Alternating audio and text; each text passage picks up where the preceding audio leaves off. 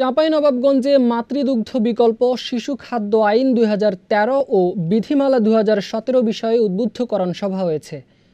সকালে সদর উপজেলা পরিষদ সম্মেলন কক্ষে এই আয়োজন করা হয়। সভায় বক্তব্য রাখেন সদর উপজেলা নির্বাহী কর্মকর্তা মোহাম্মদ আলমগীর হোসেন সহ আরও অনেকে।